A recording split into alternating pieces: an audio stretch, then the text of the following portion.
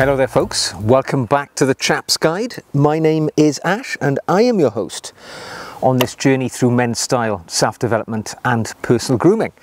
And today you join me in an absolutely glorious summer day here in southern England. And as a consequence of the weather, I've received a question from a viewer about summer styles and the essentials that a well-dressed gentleman would really need to be equipped with to survive the torrid heat of a summer time. And this question comes from Marcello Clemente. I hope I've said that right. And he says, I would like you to give me some suggestions about shirts, trousers and shoes to wear during the summer season, especially during the warm days. So here we are again. All right, summer's crept up on us, it's arrived, and we're all facing the challenges of that big fiery ball in the sky, which makes our lives a little bit less comfortable on hot days where you have to be outdoors. And it kind of makes us deviate away from the standard sartorial styles that we often defer to. Because when we think of intentionally well-dressed men, we tend to think of a man wearing a suit, of a collar and a tie, maybe dark and conservative colours. But to me, all of those rules go out through the window when the summer arrives because now it is a question of surviving against the elements. You know, the same in the winter time where we wear overcoats, seagulls, where we wear overcoats to keep warm. Now, at this time of year, you know, we have to go in the opposite direction and dress for that climate. So I'm going to talk about my picks that I have to have to help me get through the summer months. Just a few accessories, some of the major items as well, because I do really change from my quite sartorial style to a more relaxed, comfortable style, particularly in the 30 plus degree Celsius days that we see in the high days of summer. Okay, let's jump right into it and let's start with the footwear because as I often say to gentlemen, the shoes that you wear are the foundation of the outfit and if you get the shoes wrong, the outfit very quickly goes to rat's tails. So get the right shoes to get the right aesthetic. And aesthetic is the real keyword here because there are so many options you can choose in the summer months. It comes down to your personal preference and the sort of style that you are trying to project to the world. Now I see no problem wearing sort of white or paler leather training shoes, sneakers, whatever you choose to call them, tennis shoes. But for me, as a man over 50 years of age, I've kind of distanced myself from the younger leather athletic shoe when I'm trying to be a little, more, little bit more relaxed yet stylish at the same time. It can be done, you do see it being done. However, I tend to think that a little bit more formal shoes of a sort are a better fit. Now, the deck shoe is a route many people take. This is kind of relaxed, it's comfortable, it's made of leather, a darker leather, quite often you can choose whatever leather colour you like, but certainly it looks more relaxed and appropriate for the summer months. Me, myself, I used to crew yachts in the summers when I was a younger man, up in the Baltic Sea when I was in the military, so I kind of find it very difficult to wear yacht shoes unless I'm on a yacht. It feels a bit strange for me. I tend to veer down the path of the good old catch-all favourite, the desert boot the suede desert boot. Because for me it's such a classic and versatile boot. It can be worn and boot's probably the wrong word you know it's such a low boot it's almost a shoe. But it is a chukka boot in essence. But it can be worn with jeans with chinos and it can equally be worn with shorts. I see it quite frequently worn with shorts. It's a great comfort boot which looks slightly more stylish. You know, if you start a day in shorts and you want to throw on a pair of chinos to go out for lunch with friends in the yacht club or whatever, you only have to change the trousers, the boots can remain the same if you're wearing uh, a desert boot.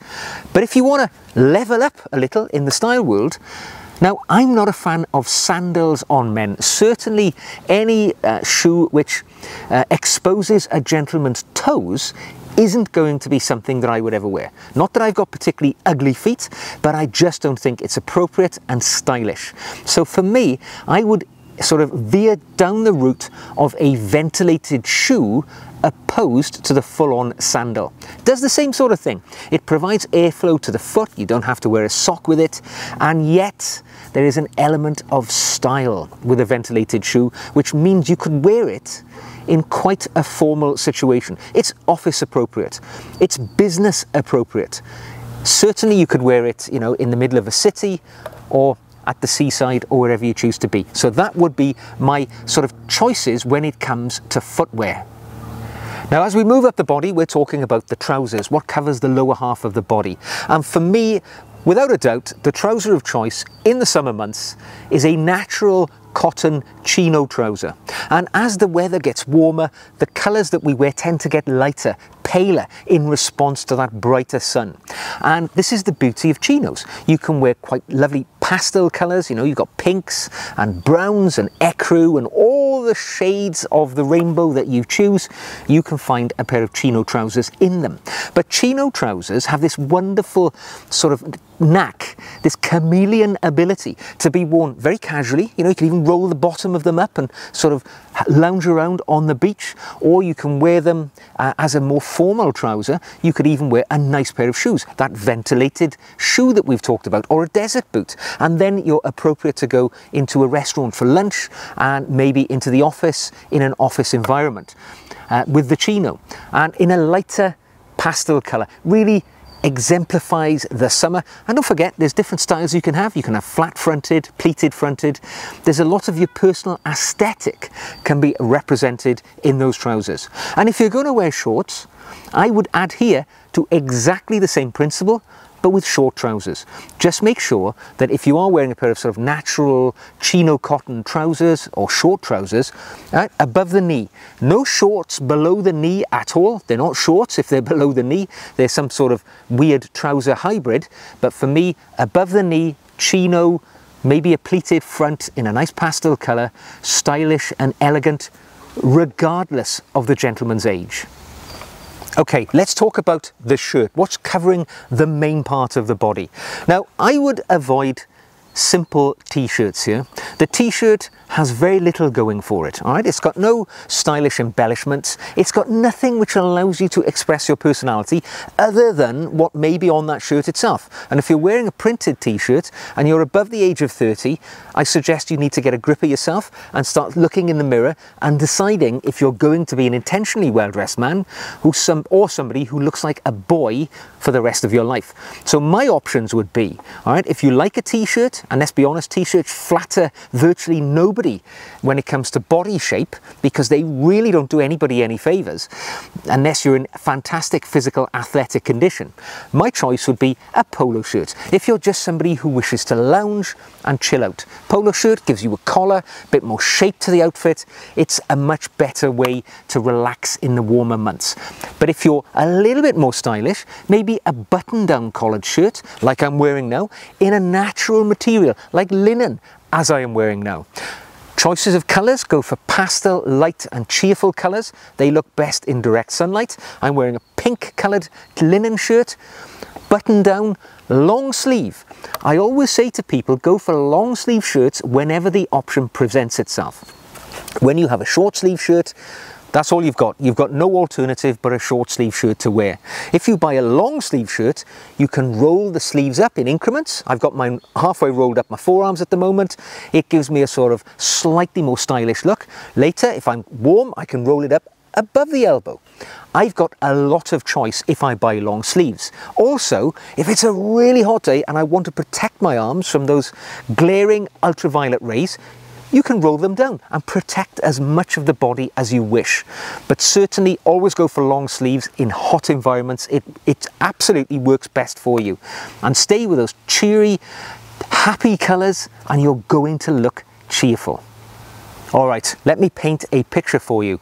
It's a, a, warm day like today. It's above 30 degrees. You've been invited to a barbecue, but it's a very stylish one in, you know, uh, the boss's backyard and you want to cut a dash. You know people are going to be formally dressed. What do you wear? Well, what you need to opt for is that unstructured blazer. Now the navy blazer, the little black dress of the men's wardrobe, it rules the roost when it comes to effortless, cool in normal life, but when the temperatures rise, it's simply too hot. hot. And I have to typically opt for an unstructured unlined blazer. Now unstructured unlined means it's simply the outer fabric. It's quite a light often doesn't have a great deal of shape, it doesn't have any padding, and it's quite a casual garment in many regards. But the simple fact that you're wearing a blazer style jacket, uh, you know, a sports jacket or an outer jacket, whatever you want to call it, it's going to cut you apart from the vast amount of people who are probably not going to put that much thought in the way they dress. Single-breasted, nothing other than that. Simple, unstructured blazer in a pastel colour. This is your opportunity to uh, show a bit of style coordination. You know, if you're wearing, say, a pink blazer, wear uh, fawn-coloured trousers, or vice versa. You can mix and match it up a little and show that you command the powers of the color wheel in life. So make sure you look appropriate for the situation. And you're going to look smart and elegant. And of course, wearing that blazer, it allows you a little room for personal expression because you're going to have a breast pocket. You can put a pocket square in there. You've got lapels. You can wear a boutonniere or a lapel badge. All of a sudden, you're incredibly stylish and dapper, but you've got a layer of protection against you and that sun in that extra garment, which is actually going to help keep you cool and it's going to make you look stylish as well. So that's the way to go. And of course, stay with natural fabrics. Go for linens, go for cottons. Don't go for any polyester blends or anything like that, which will retain the heat. Go for those natural fabrics in cheerful colors, and you are going to rule the roost in that barbecue. On these super hot days where the sun is beating down unrelentingly upon you, there's one thing you need, and that's all over protection. And a hat becomes not just a stylish addition to your outfit, but something necessary to keep you in good health. Because put one of these on the head and all of a sudden the world is a little bit cooler and you're a little bit more protected. Particularly if you're a gentleman such as myself who's a bit short on the hair front or if you choose to shave your head or keep a very uh, short hairstyle. Because the that sun it's going to cause you to get heat stroke. Life isn't going to turn out well for you if you get too much exposure to that, let alone getting burned by the sun on the top of your head. There is no fun in that. So choose a nice hat. You don't have to spend a pile of money. A lot of hats today, just like this one, this is made of 100% paper. So, you know, it's only good for about two seasons, but actually when it's on, it's stylish, it's elegant, it's got a nice broad brim to allow me protection from the sun, and it also has quite a stylish look good enough to wear with that blazer if we're going to the barbecue, or good enough to wear, you know, if we're sat next to the, the pool, or if we go to the beach. It's exactly what you need to keep yourself, you know, nice and protected from the sun. Now, if you really want to go for a style bump, you can go full traditional, get yourself a boater hat. Very recently I was in the States visiting a friend of mine, Timothy Big Pretty Co from the, from the uh, Big Pretty Man Style channel, and he was wearing a boater hat, that most classic of British hat styles. And as we walked around the streets of Philadelphia, the number of times people shouted encouragement or appreciation towards him because of the hat that he was wearing. We lost count. You know, people shouting, hey, nice hat. It was really breathtaking the impact that a simple boater hat can have. Straw, comfortable, natural, keeps the sun off and looks incredibly elegant at the same time. Wear a hat to protect your head. And also in the summertime, it's a time where we get a little bit sweaty. We need to freshen up a bit, particularly if we're out all day. Now for me, a summertime fragrance is a necessity because I like to smell my best at any time that you encounter me. Nobody wants to linger in the mind of another person who's just met you as the guy who smells a bit sweaty. So get yourself a nice summer scent. Summer scents are very different to winter scents, which tend to be dense, heavy, and super powerful in the summertime, we want to opt for fragrances that have a little bit of a lighter element to them. They can often be quite zesty or aquatic in their nature because they allow that that, that fragrance cuts through the heavy, sweaty days. Now, I've got a couple of choices here. I've got Floris, and this is Neroli Voyage. Very cutting, zesty, very fragrant indeed. Very much the zesty summer fragrance. Or, quite expensive mind, over £100, but if you want to go on the cheap end, Drakkar Essence by Guy Laroche.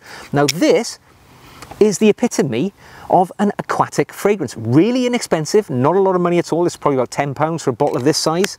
And you can apply it, you know, nice little bottle, keep it in your bag, apply it halfway through the day. So after lunch, you feel all fresh and clean and people who encounter you will remember. Do you know what? It was a super hot day. I met that guy in two in the afternoon and the first thing that struck me was the wonderful fragrance that he was emitting into the room. That's the way you want to be remembered. Something else which is essential in the summer months, I'm wearing them now, sunglasses. They protect you from the unrelenting ultraviolet rays. They stop you squinting when you're looking at the camera or driving your car, but they also give you a style bump if you choose your pair correctly. Now make sure you get good UV protection. It's all very well looking good, but you want protection as well. That's the most important thing. And opt for a timeless, elegant style. Something like aviators or clubmasters. You can't go far wrong with those, regardless of the shape of your face. But when you do go eyeglass shopping, make sure you take somebody with you who can give you a good point of view and think how comfortable they're going to be if you wear them hour after hour, as we often do in the summer months. But don't forget, sunglasses protect you and make you look stylish at the same time. And finally, how can I end any video without talking about something I love very much? And that's a wristwatch, because in the summer months, you're going to wear your sleeves rolled up most of the time, or actually be without sleeves at all. And you want to wear a watch so that people can see that you're somebody who appreciates and values time, and that you wear a watch to show that appreciation and respect that you have for the one thing in the world that we can't buy or exchange for anything else. It's time itself. Now, in the summer months, I put away any of my watches which have a leather band or a fabric band because typically these are going to absorb sweat, it's going to increase their deterioration, they're going to break down. For me, at this time of year, there are two choices. Either the rubber strap or a synthetic rubber type strap as I'm wearing now, or I have here now actually, not wearing it, but this typically seen on waterproof watches, they are very robust, very comfortable, they're very, very, they conform to the shape of your wrist, obviously, but they allow you to jump in the water, go in the pool, do whatever you need to do, go swimming at the beach without any concern at all. Of course, as long as the watch you have is also waterproof. Or the other alternative is something like a metal bracelet. Make sure though that it's stainless steel and it's the sort of bracelet which is going to be happily plunged into the water. And there you go. You are showing the world that you appreciate time and you're wearing a watch to make you stand out from the crowd. Because let's be honest, in the summer, we get very little opportunity to embellish our clothing with any of the little touches we use to express our individuality most of the time. So we don't get to wear a tie with a different colour, a pocket square, you know, or a boutonniere or anything like that. A watch is the one thing that you can wear. I mean, earlier in the year, I was in Dubai on holiday, swimming around the pool, and everybody had their waterproof diving watches on, and it, it was almost like a, you know, fashion parade of stylish, expensive watches in the pool. So make sure you get the watch which will conform to your lifestyle and the aesthetics which you seek to live your life by. So there we go folks, those were my summer essentials. That's what I need to get through these hot, sweaty, humid, steamy days.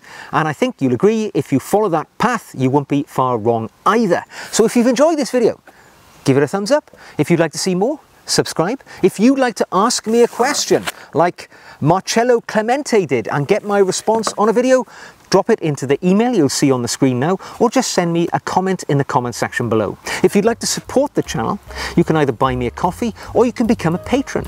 I make additional Patreon videos, which are over there on my Patreon channel, the link to which you will find in the show notes below.